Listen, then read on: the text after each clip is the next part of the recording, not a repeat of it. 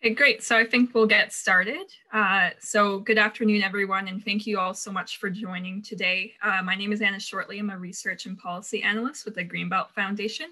Um, I'm here on behalf of Kathy McPherson, VP Research and Policy at the Foundation and VP Strategy and Programs at the Greenbelt Fund, who unfortunately couldn't be here today given all these overlapping commitments. Uh, but she would also like to extend a warm welcome to you all. Um, so today we have a great panel of five farmers from across the greater Golden Horseshoe region who are going to share their experiences living and working in peri-urban areas. So as we know, this, this region is growing quite rapidly um, and urbanizing quite rapidly as well. And we know that these new land uses that are coming in, as well as the new population and access to these urban markets, continues to shape uh, unique challenges and opportunities that farmers near grow growing cities, suburbs, and towns face. So challenges including, you know, more traffic on the roads or uh, complaints about smells, um, but then also opportunities to do some more on-farm diversification, uh, pick your own operations, things like that. Um, so how this webinar will work is we'll have our moderator, Dr. Sara Epp, who I will introduce just in a moment. Uh, she will facilitate a discussion with our five uh, panelists. Um, and then there will, it will also be an opportunity at the end uh, for you all to ask questions. Um, so you can ask questions at any time during the webinar. You just type it in into the Q&A box um, and we'll get to them at the end of the session. So now I'd now like to welcome uh, the moderator of the session, uh, Dr. Sara Epp. Uh, Sara Epp is an assistant professor of rural planning and development at the University of Guelph. Uh, she received her BA and MA in geography from Brock University and completed her PhD in rural studies at the University of Guelph. Sara has worked extensively with rural communities in southern and northern Ontario, examining issues related to farmland loss, agricultural viability, and uh, land use conflicts, and social aspects of rural life. Sara has previously worked in municipal land use planning and as a private consultant for a variety of rural and agricultural planning projects. Uh, her current research interests include rural land use planning, agricultural systems, food security, and cannabis. So I'm going to stop sharing my screen now and I welcome uh, Sara to uh, take it away. Thanks so much for that, Anna, and thanks for the introduction. I'm really excited about today's webinar as it's definitely a topic I've spent a lot of time researching. And with everything I do in academia, I think the best way to understand the impacts of policy, development, or growth on the agricultural sector is really to speak with those who are directly impacted by it. So we do have a fantastic group of panelists with us today representing very diverse geographic areas and farm types. And what I'll do is I'll invite each panelist to provide an introduction on themselves before we get into the moderated discussion. As Anna did note, that you're all welcome to pose questions to the group. We'll try to get through as many as possible using that Q&A box, and you can do it throughout the session. We have about 15 minutes or so held for that, that sort of open discussion. So please do take advantage of that time. Before we get into any of the questions I have for the moderated session, I will ask each panelist to introduce themselves and if they feel uh, they're able to, to turn their camera on. So first we'll go to Paul Burnham. Hello, everyone. Can you hear me? Yes. Okay, good. Yes, my name is Paul Burnham. Uh, along with my family, uh, we run Burnham Family Farm Markets uh, between Cobourg and Port Hope and Burnham Farms Limited, which is a cash crop operation. Um, my wife and I, my wife Anne and I have four children, all of which have returned to the farm in different uh, capacities. My son operates the cash crop operation. My youngest daughter has sort of taken over the farm market my oldest daughter runs an equine facility on site, and um, my middle daughter um, is learning how to do the horticultural end of things to supply the market. So we grow fruits and vegetables, uh, asparagus, uh, strawberries, raspberries, sweet corn, apples, pumpkins, beans, and peas. So we grow, we don't grow everything we sell out of the market. We have quite an extensive bakery um, in the market and uh, we bring in some uh, fruits and vegetables from Toronto, uh, and we try and maintain uh, only Ontario or Canadian grown product. Um, the equine facility run by my daughter Jennifer has about 30, 35 horses um, boarding, and then she owns about 14 that she gives lessons on. Um, we farm for cash crops. We farm about 1,900 acres. Uh, we grow corn, soybeans, white beans, azuki beans, wheat, and hay. So uh, we can see subdivisions from Cobourg um, from our windows. We can also see open fields from our windows. And we are on the main artery between Cobourg and Port Hope, and it's uh, quite a busy, quite a busy uh, road. So I think that's probably all I need for introduction. Great, thanks for that, Paul. Uh, next, we'll go on to Mike Kauzlaric. Thanks, Sara. Uh, good afternoon. My name is Mike Kauzlaric, and I uh, represent Kauzlaric Family Farms, located in the town of Niagara on the Lake, um, which is about 10 kilometers from Niagara Falls. So the town uh, receives about 3 million visitors every year. And, um, you know, we're 10 kilometers from Niagara Falls. They get about 30 million visitors. So um, we've seen an explosion of tourism uh, come to the area over the last 20 years. Uh, I am the second generation farm uh, operator. Uh, my parents purchased it 40 years ago, and uh, we've always been a wholesale directed uh, company. we grow tender fruits and wine grapes, and tender fruits as apricots, peaches, pears, plums, and pears, um, and wine grapes as well. And so we've always been wholesale driven, but over the last 10 or so years, we've uh, had subdivisions pop up across the street um, and a whole, whole, a lot of people uh, coming to retire in Niagara Lake. Over half of the population, about 20,000 people is retired. And so um, we've seen a big increase in, in uh, residential um, going up around us. And that's kind of driven us to be more farm gate orientated as well, along with wholesale. And so, uh, yeah, welcome to uh, receive any questions later today and excited to be here. Thanks, Mike. And now we'll move on to Meaghan Richardson. Hi, everyone. Um, thank you as well for the opportunity to be here. It's nice to speak with you today. Um, so I'm Meaghan Richardson and I run Mabel May Farms in Burlington, Ontario with my husband and his father. Uh, we've been farming in this area for about 150 years. I'm first generation, but uh, Norm, my husband, he's fourth um, on his dad's side and many, many generations back on his uh, grandmother. So we're very fortunate. We have a beautiful farm right on Appleby Line between Burlington and Milton, which affords us a lot of opportunity if we wanted to do uh, people facing um, markets. And uh, so that's something we've been starting to look at. But traditionally, we are a, a hay and forage operation. We run about 1,200 acres um, in the area, farming between Waterdown and Guelph. Uh, we grow switchgrass, miscanthus, and hay, um, mostly for the bedding and livestock market. We also run a grass-fed lamb operation on the farm. Um, we're host to um, a meadery and honey company called Back by Bees. So they're also on our farm property. And we stuff erosion control socks out of one of our buildings. So we're really um, diverse, I guess. And that's one of the things that we've enjoyed about being near the urban areas. There's so many opportunities.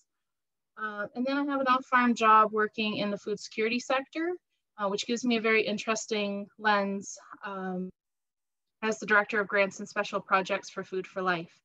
So happy to be here and looking forward to answering your questions.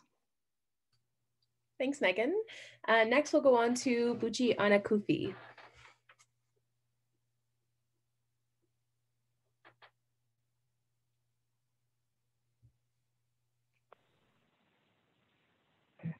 Hi, can you see me? Hi, everyone. I'm Buchi Onakufe of um, I'm Buchi Onakufe of Akachi Farms. Um, I operate a 12.4 acre farm right in the heart of Woodbridge. Um, the farm is located on Pine Valley, um, Pine Valley Drive between Major Mack and um, Rutherford Road. It's right in the it's right in the Kortright Center for Conservation. Um, I'm first generation farmer. Originally, my education background is microbiology, uh, medical, and um, when I got to Canada, I got interested in the food security, food availability, clean food, and I decided to go into farming. Um, we have um, 7.4 acres um, cultivatable land, which we grow um, a large variety of vegetables. We also have the animals um, like sheep, goats, turkeys, rabbits, chickens, duck, and some guinea hens. We there's a large bee operation very close to the south field, which helps in um, pollination. And we try to practice um, permaculture. Uh, I would like to call it biodynamic uh, farming because everything in the farm is being recycled and every aspect of the farm supports and enables another section of the farm. I farm by myself with my little daughter who is grown now. She's now a teenager.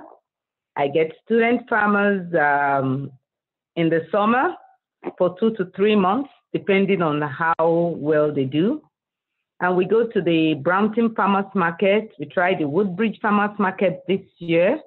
But um, because we're in the city, um, we get a lot of um, visitors. The Kortright has over a million visitors, those that come in by the gate and pay, and maybe another million that come in the back door. So it's um, very busy there, and um, we do a lot of um, farm gate sales. I'm happy to be here and um, I'm happy to be here speaking with you guys and I hope they understand um, what we go through, what we're trying to get to, and we can get um, our we can get our concerns out there to people who can really help. Thank you. Thanks, Buchi. And last introduction from Paul Watson. Hi, I'm Paul Watson. Uh, run Watson Farms in Bowmanville. We're right on Highway 2. We have a farm market, which is right across the road from Walmart. Uh, we do pick, my dad started Pick Your Own Strawberries in 1970. And then he added a couple of years later, Pick Your Own Raspberries. And about 75, he added Pick Your Own Apples. And then when I graduated, uh, when I finished my first year at Guelph, in 91, I decided I was going to open a farm market. Um, so we grow, we now grow asparagus, strawberries. Um, I've grown raspberries up until last year. We're going through a bitter divorce and trying to get things straightened out, but I'm hoping to, I've, I have raspberries for pick your own still, and I'm hoping to grow a bunch more crops for retail again. Um, we always grew peas, beans. We had 50 acres of sweet corn and I have 80 acres of apples. Uh, we did pumpkins and squash. Um, but this was all pick your own and farm market. And we had three retail operations, satellite locations in Oshawa that we ran for the summer. Um, our main farm backs right onto a subdivision. There's three feet between the house, the closest house, and our fence line and our other main farm uh, backs onto the 418 and which is the link from 401 to 407 and then we have another farm just south of that as well that's all orchard. Uh, we as i say my dad started farming on the farm in 70 in 69 when he graduated guelph and i took over the operation. Um, gradually over quite a number of years. And so we've been battling lots of problems with neighbors ever for the last 20 years. Not sure what else I can tell you. Thanks, Paul. We'll have lots more time for more input as I get into some of the questions. And so I do have three sort of structured questions that I'll pose to the panelists. And um, you don't, I won't speak to anybody in particular, you're welcome to jump in, raise your hand if you want to talk first, however it feels most natural. And we'll, we'll just go through the questions and then we'll get into the less moderated session for the question and answers from the audience. So my first question is, can you describe the main challenges you have experienced farming in a peri-urban area? We've heard a couple of those already. And with that, have you witnessed these challenges evolve or change over time? So any challenges that you've experienced that anyone would like to to speak with? Yeah, Mike, I see your hand up first, and then we'll do uh, Kotobuchi after. Yeah, super, Sara. Um, I'd say in definitely the uh, intensification of uh, housing uh, back in the 70s and 80s and 90s. It was quite estate lots that were built around here. Now it's it's kind of being brought in. So I guess trying to make use of whatever lands left for development um, is is uh, very very crucial in in here. But that's yeah. Thanks for that, Mike. Uh, Buchi, I think you were next.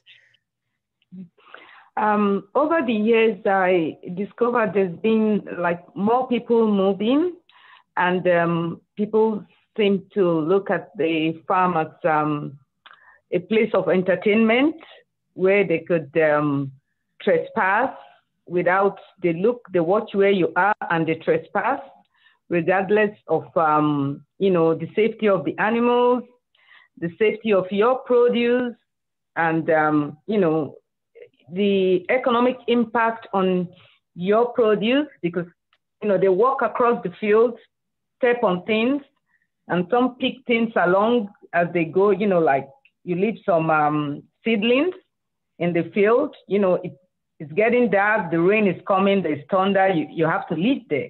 You're not going to take all the trays back. You you leave them there, and you cover them. The next day you come continue. They come and pick what they need for their garden. You know, and go and like the apples, they just come and watch you.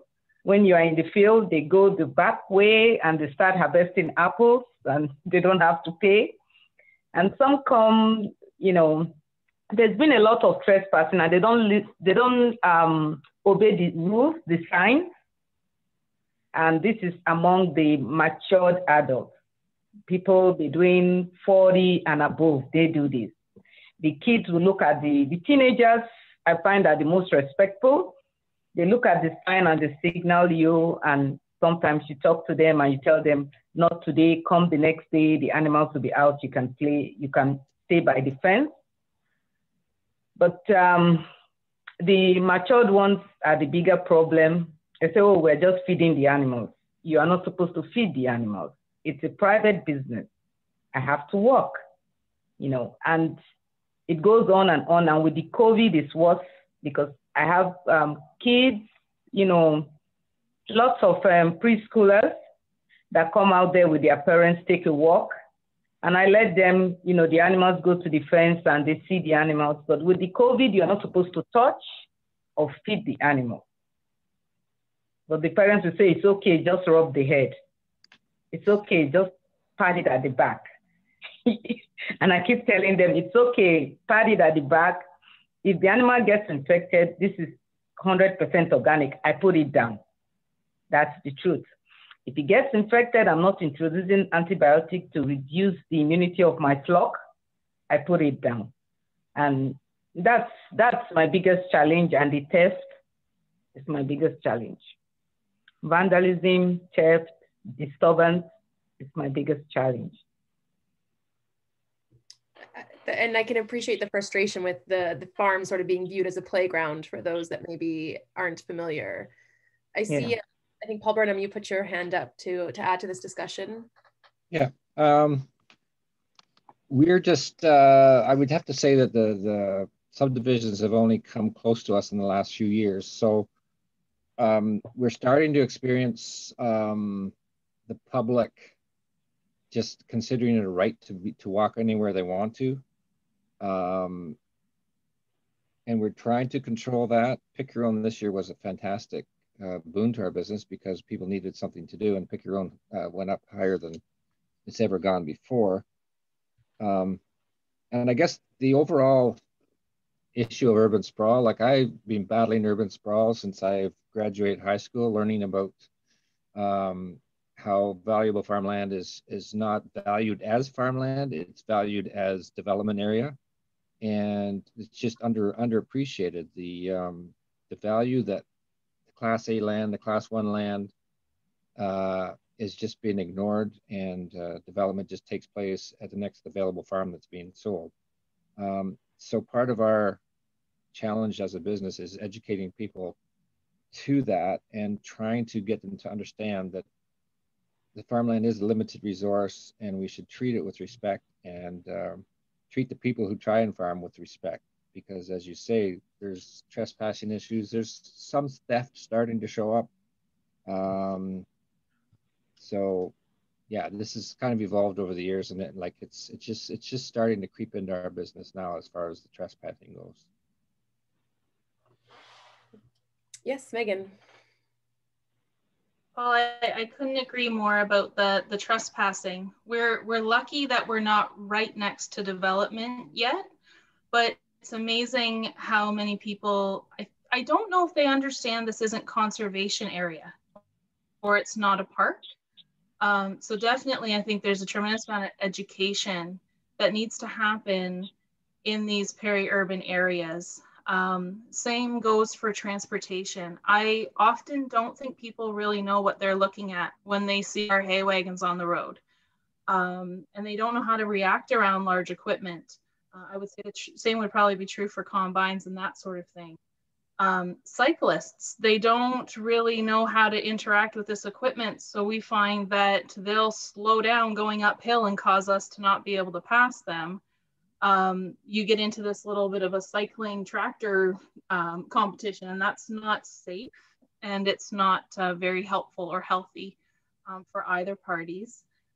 I think for me, we're coming into a season of meetings, and my impression is that those who don't live in peri-urban areas um, have a little bit of easier time with the regulations. So for our farm, we're in the NEC, we're in conservation, we're greenbelt, um, we're prime ag, luckily, but we also have natural heritage land. And so I find that most most weeks we're two to three meetings a, an evening on policies that will impact our farm operation in the future. And that takes a lot of time away from actually just running your business and farming. And we've had uh, several uh, farm our age, we're in our early 30s, um, have decided that they would rather move to areas where permitting is easier or they don't have to worry about these um, various regulatory bodies and the clash that we sometimes see. So I think that's one of the challenges that we don't talk enough about that affects our operations, but we're not uh, vocal is the, um, the mental strain of that and the emotional strain of always dealing with these things overall.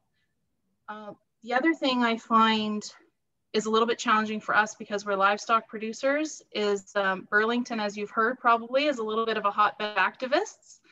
And so that's just a concern in the back of your mind and it affects what you will put out on social media. It affects those sorts of things. Um, we're very easy to find. You can see the farm right from the road. So um, those, those sort of things can become challenges in these urban areas. Um, I think lastly, the other one I find challenging in our area, um, and we don't hire a, a, lot of people, but cost of living right near our urban areas is quite high. And so when we're employing people, we have to be considerate of that. Um, the rates are somewhat different across Ontario. And I think definitely in the GTA, if you're looking at a living wage of $20 an hour, that's um, a considerable pay rate if you're trying to employ several people on the farm and your family. So I think those were my big, my big ones. Thanks, Meaghan. Uh, Paul Watson, did you want to add anything? I see, I know Paul Burnham put up his hand, but I'll go to Paul W first. I think I put up my hand. I'm not exact. I don't know whether I did it right or not. Um, yeah, we have, my dad sits on he was on two ag advisory committees, one for the municipality and one for the region. He still sits on one for the municipality to try and make sure that the municipality is aware of some of the challenges that farmers, especially in and around town, but throughout the throughout the area, the challenges we face. Um, I know being so close to the subdivision, being right on the other side of the fence, uh, we have issues with birds, both in the, we get seagulls in the strawberries. And of course, sweet corn is very problematic for birds. Um, we've had uh, by law enforcement in several times threatening me.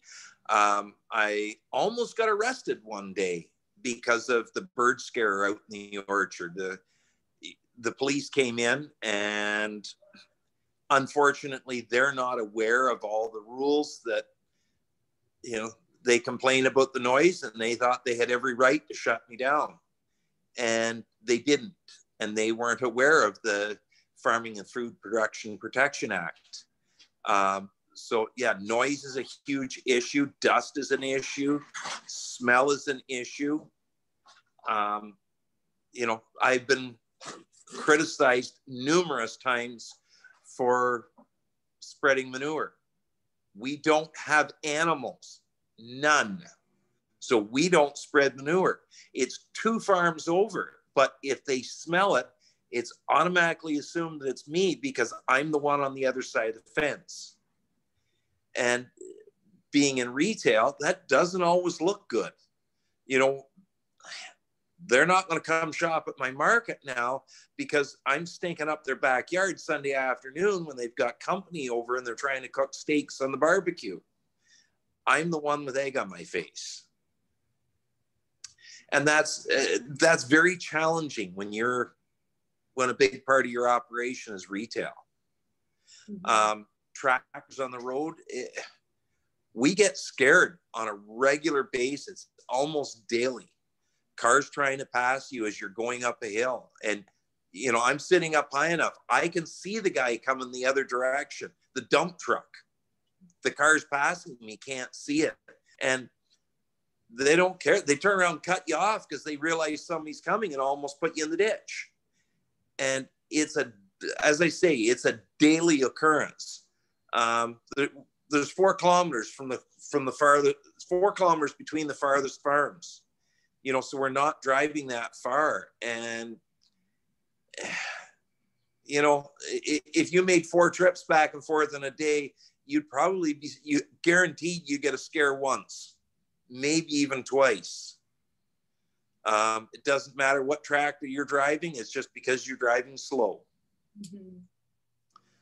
So it, it it has proved, you know, I mean, it's very beneficial because we're retail. The customers are nice and close. So there are good parts to it, but there's major challenges as well. Absolutely. I, I might, um, I'll go to Paul Burnham and then while Paul's talking, I might encourage everyone, we've heard a few challenges and a few solutions. Education was mentioned as one piece. And I might ask each of you to think about some other solutions to some of those challenges you've, you've come up with today or that you're experiencing as uh, I let Paul Burnham uh, respond. Yeah, just one more thing I thought of, well, more than one thing, but I'll, I'll mention this one. Something that we share with our urban neighbors towns and that probably most of the farmers in our township don't share, uh, and it's a major problem uh, popping up all across Ontario, is the homeless problem. Um, we have people last winter for the first time, we had people come out and uh, sleep in one of our hay sheds. it surprised me because I went out to clean out part of the shed and um, I went to move some things and I looked over and I saw a blanket and I said, what's that blanket doing there? And it turned out there was somebody sleeping underneath it and it sh really shocked me. And I thought, okay, this is, uh, this is a new issue. so what do we do about that? Uh, I ended up uh, during the day, I ended up uh, bolting that uh, building shut so they couldn't get in. Uh, but it, it, poses a safety hazard not only for those people, but you know, should a fire start or something, um, you know, they could be injured. Plus, the whole business could go up. So that is a very new problem that uh, we just happened to experience this past winter. Yeah, very different or more extreme version of trespassing for sure. Yeah. Yes. And one that I don't know that I have a solution for overcoming. No. well, it, it's it, it's a province-wide problem, like a countrywide problem. And uh, like, what do you do? Like, I feel sorry for them, and I'd like to provide something for them. But at the same time, I can't have 30 people, you know, staying in a barn kind of thing. So mm-hmm. there's, only, there's only two or three individuals, but it could easily easily escalate should word get out. Mm-hmm. So I see Buchi has her hand up, so we'll we'll go to you next. Oh, you're just on mute though. You'll have to unmute yourself. Uh, there's one very, very um, serious problem. It's coming up gradually, but very steady. That the new, the new thing on um, vegan and animal rights stuff. Uh, you have like you have people. I know there's been the pandemic, but before the pandemic, they had people who had other issues. From my view, and are taking it out on um, um, farmers, on the livestock. You know, they feel, you know, animals and humans have the same rights. I don't know how that happens, but, you know, they just feel that you have no right to farm or kill an animal, that the animal should be there, you take care of them, and they come look at it, and, you know, I don't know what they want the farmer to feed on. And they are becoming more vocal with the with the um, technology now, they're able to share things and stuff like that. And sometimes they go out of their way to confront you and your client.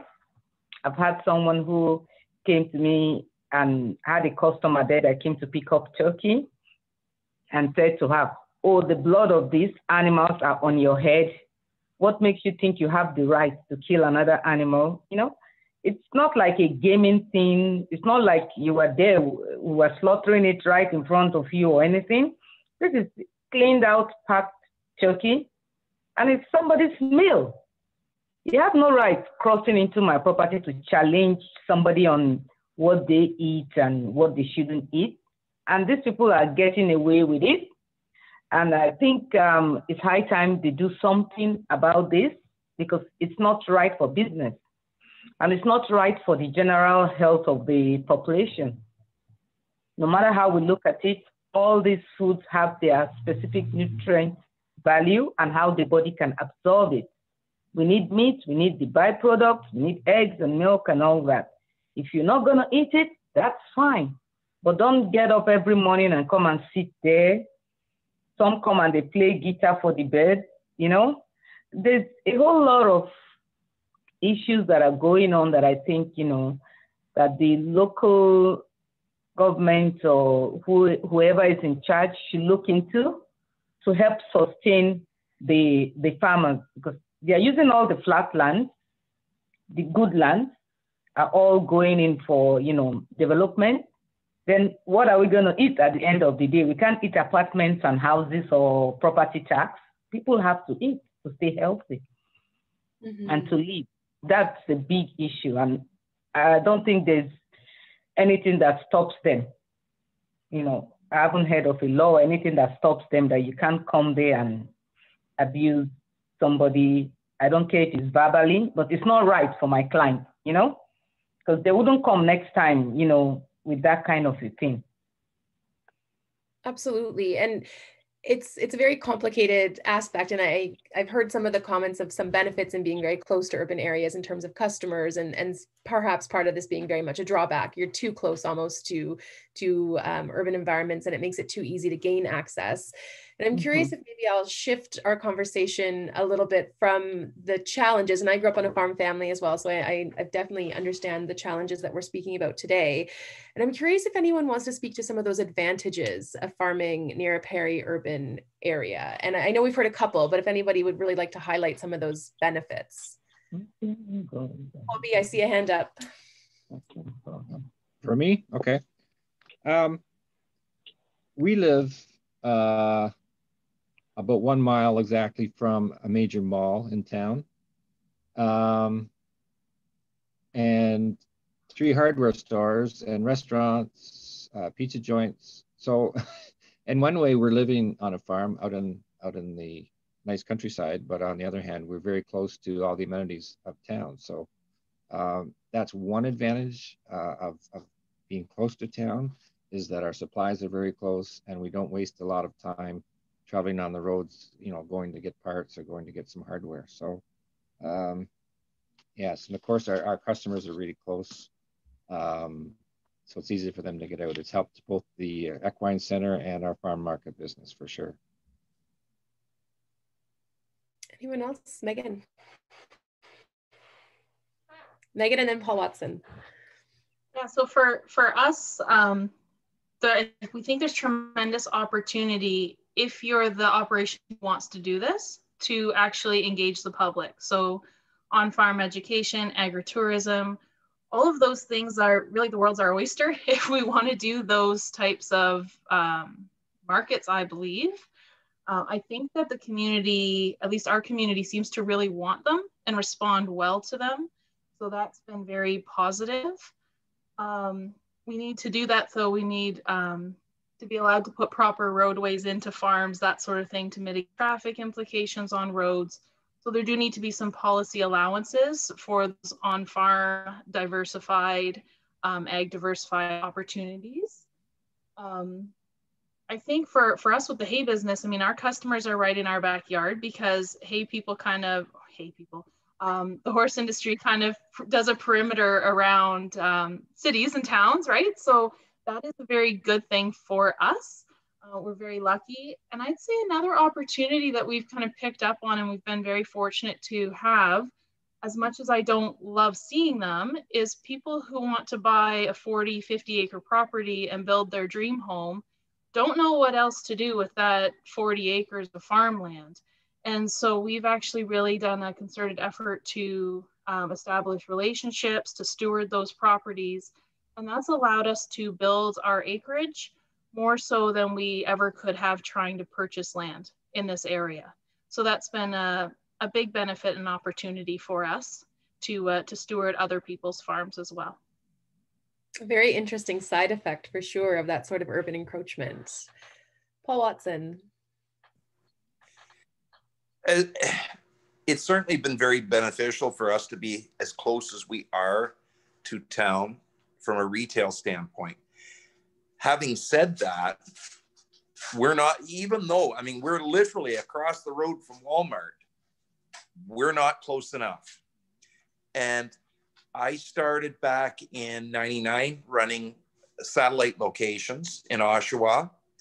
Um, we got as high as three locations we sold 60 to 70% of our 50 acres of sweet corn in Oshawa at our satellites, which is nothing more than a tent in a Canadian Tire park. We had two Canadian Tire parking lots um, on ones that were on busy roads. And that was a substantial part of our operation. And I'm not the only one doing it. Um, you know, I know lots of guys in the berry industry are doing this Whittamore Farms was the first one I heard about doing it, and I followed their lead. And it became a very important part of our operation. Um, and, when you start doing that, all of a sudden, the location of your of where the stuff is growing is irrelevant. We don't need to be farming where we are. Pick your own. The customers will drive to it. Um, and from that standpoint, if my shop and the hub of my operation wasn't where it is, I would move it in a heartbeat to get away from the problems of trying to farm that close to a subdivision. I'd maintain my retail operation there, but the rest of it would go. Mm-hmm. Where find some place where in you know where land is cheap I haven't got neighbors to worry about, and take the produce to the customers. Um, I, I don't know, but I'm not going to change my operation now. But if I were starting over again, that's exactly what I would do. Which is a fair point for sure. Um, I saw that Mike's hand went up and she's as well. So Mike and then Buchi, and then I'll probably move on to the last moderated question at that point before I go to the question and answer period. Yeah, thanks, Sara. Um, I would say uh, definitely the, uh, you know, the, from the wholesale marketplace that we uh, uh, have always served for many years, um, urban encroachment has allowed us to focus more on the farm gate sales and higher margins by having the, having kind of bike tours come in. They've been drinking wine all day and they come in and spend a lot of money at the farm market now, so they're quite happy to eat local and something they can take home. Um, so we're we're kind of blessed, you know. We, we don't have a gravel road anymore; it's asphalt, and and uh, one car a day used to come by. Now we got a thousand cars because they've opened up uh, a different section. So it's um, it's kind of improved our our space and allowed us to kind of diversify as well more into the processing with the two by four jam company that uh, we're involved with as well. So we're we've kind of diversified our range just from not from raw product but also to uh, uh, value added goods to improve our, our margin line. So that's just my my five cents. Thanks. And Buchi. Thank you. Um, from my location, um, being in the city has been like it's been like a blessing. One, mental health is very high. You're very happy. You have a lot of people coming. You have nice people to come in, and the sales have gone up. And um, you get a lot of programs like school school kids coming in, different research. Like um, last two years, I had a student from postgraduate student from U of T, and they they have some they they have a project for Nicaragua and all that, and the materials they use and the the prototype is left behind for irrigation, which helps me, you know, and I don't have to pay for that. Then York Region um, during the volunteer week, they have like um, 200, one, about 200 students come to the Kortright Center and, you know, they don't have much to do. They ship me about 120 and I have them for the day. The onions is planted, garlic is planted, cleaning up is done. Then you have, um, you have different, um, you have the play group that come weekend with their parents, just little kids and you see how happy they are and the way they scream, that laughter, the happiness, you know, it cheers me up, even if I've been having a bad day on the field or something, you know, and um, the sales, most of those things transfer to sales. And because I'm right close to them and they can see that it's clean food, you get to keep those clients for a long time, except when they move and that's when you lose them. But sometimes they still make take, you know, do the drive and come to you. You also get a lot of retired um, farmers, that's the old generation farmers that come around to visit and, you know, take in the fresh air, look at the animals. And you get a lot of advice from them how to do this, how to fix this, and, you know, how to make your job easier, more profitable, how to manage different problems on the farm. And some will come up and check up on you, you know. So it's um, socially, it, it's a big yes, you know, big boost. Financially, it's also good because if the markets are bad sometimes, especially like for the last three years, markets have not been very good. I don't worry that much because the next day I sell at the farm, and some days, you know, before the market days, you get good sales. And a lot of people donate, like when they're moving, they donate like barrel, freezer, wood panel, things they use for constructions that um, they don't know what to do with. They're not going to use it anymore, leftovers. They donate it to you and it helps. So that's, um, I'd say that's a big plus. That cuts down your um, that cuts down your financial input mm-hmm. by more than 40%, which is big.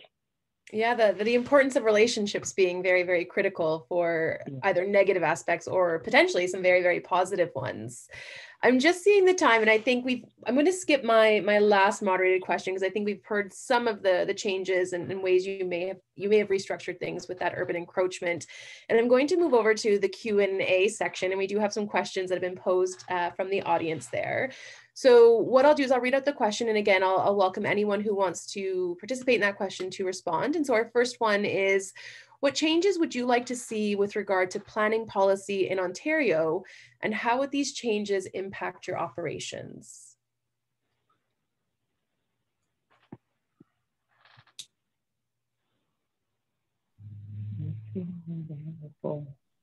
Any, Paul, go for it. Yeah. Um, I've always been on this bandwagon of, of preserving agricultural land, and I know there's policies in place, like the green belts in place to protect land, but it's only as good as the next government. It's only as good as the next developer that comes along and spends years and thousands of dollars to push his case for, you know, putting a new subdivision in. Um, and some farmers would be against what I would like to do, which would be to, to, to freeze all agricultural land as agriculture. And it's kind of pie in the sky, but it's what I believe in. It's what my family believes in. Um, so maybe a little more teeth in the land preservation, a little more think outside the box from the planners. Like think of where land development should go rather than where it's easiest to, to do it. Um, I know they like developing around services like sewers and water, but can that not be done maybe in the less desirable agricultural um, uh, situation? So I know that sounds pie in the sky, but I do believe eventually we will come to that because we're going to run out of agricultural land sooner or later. Not in your lifetime, not in my lifetime, but down the road, it's not going to be easy. Thanks for that. Others who would like to jump in with that question about policies, planning policies you'd like to change. Buchi, mm. go for it. Um, I would like to see, Am I mute? Nope, you're good. Okay. I would like to see policies that are made to, just as Paul said, to protect the agricultural land.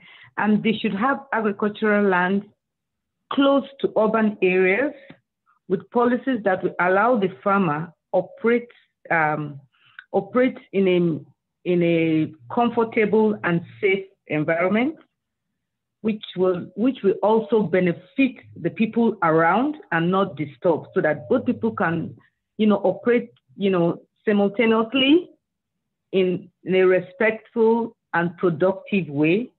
In that policy should be made um, no matter what your beliefs are a farm is a farm. You keep your belief outside the farm and the farmer here has rights you know, the farmer has rights because you come in there with your dog on leash, then the farmer cannot do nothing, but your dog can attack the animals, attack the farmer, and the farmer has no no no protection. Mm-hmm. So it's an animal, it just got out of hand. There should be like policies that should stiffer penalties for those kind of things. You don't bring your animal into somebody's business. It's like bringing um, a gun into the bank, something like that.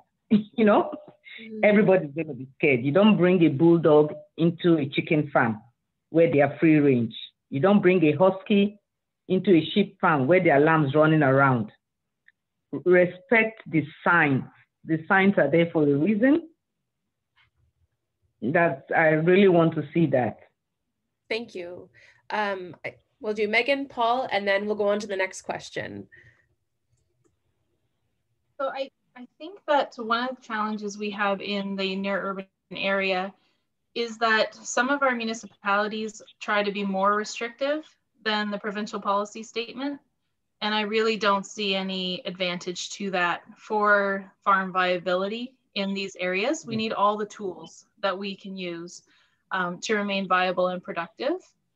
Um, I think policies need to be clear, concise, and one thing that we add for in Halton is a one window approach.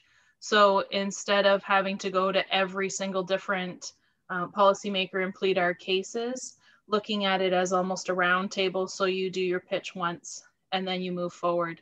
Uh, oftentimes, I think innovative things are not getting off the ground because they just get buried in paperwork. And it's really unfortunate and it doesn't do our industry any any benefit. Absolutely. And Paul Watson.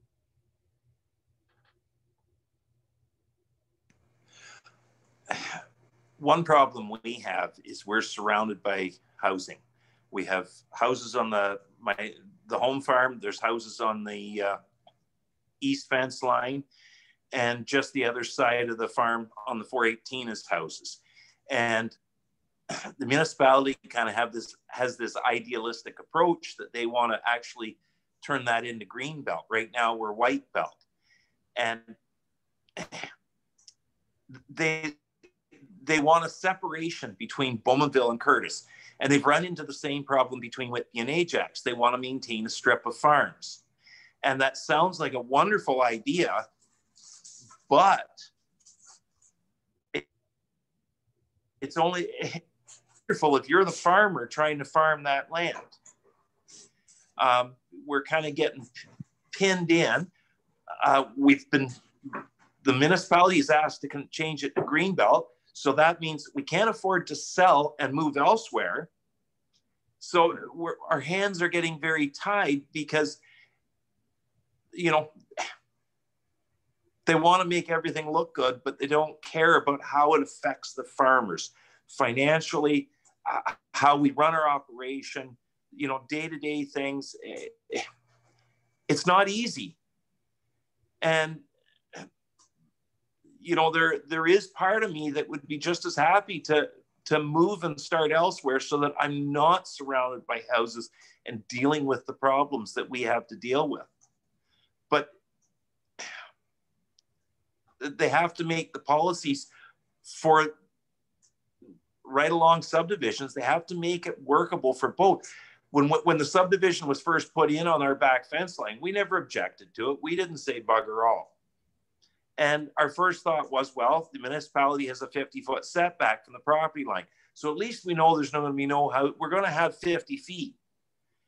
Well, that policy only applies on our side of the fence. Mm-hmm. On their side of the fence, the setback is one meter.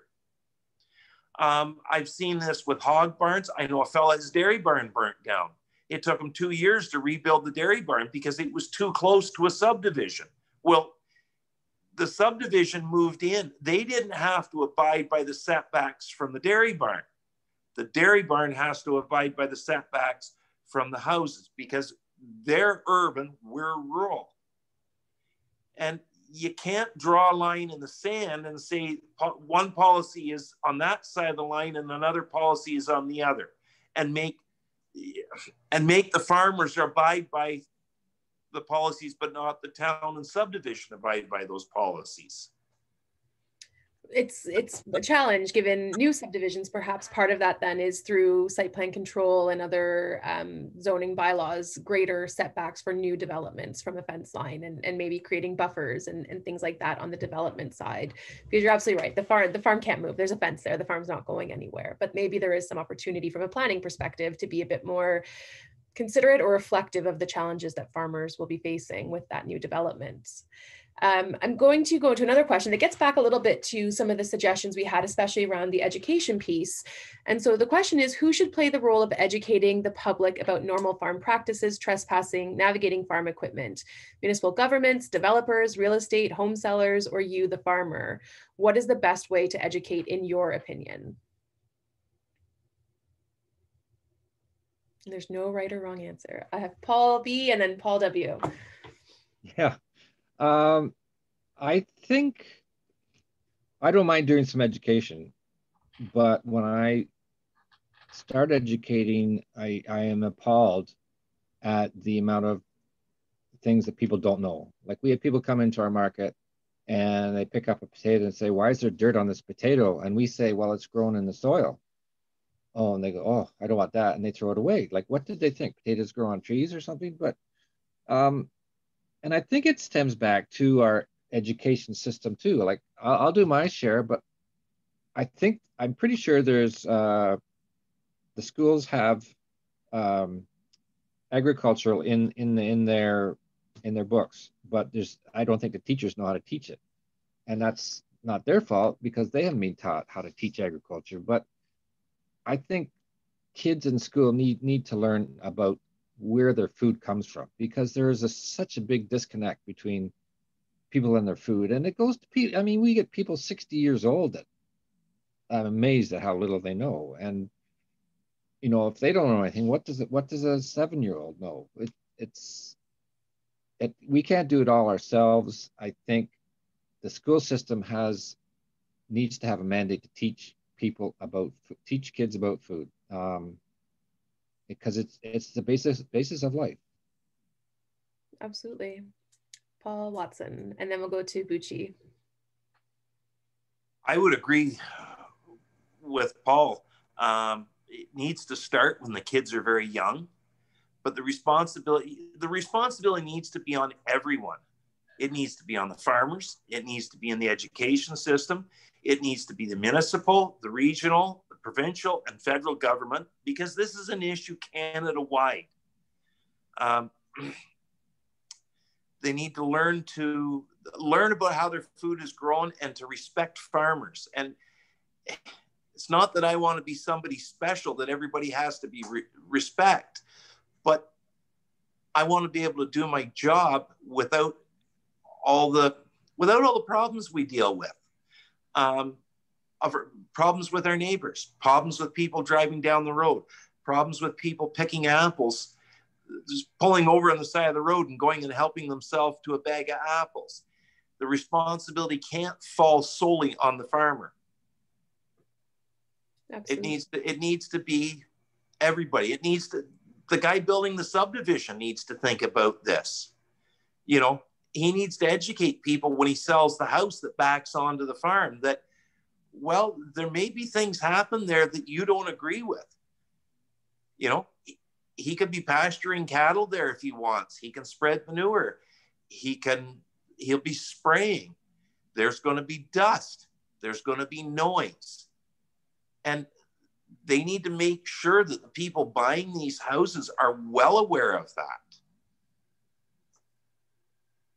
Yeah, that um, edu- educating everyone essentially, and everyone has responsibilities. What it sounds like. I, that's that's my feeling. Buchi, and then uh, I think I'll move into sort of the wrap up question. I see Meaghan, so Buchi, Meaghan, and then we'll go into the wrap up question. Oh, you'll just have to unmute yourself.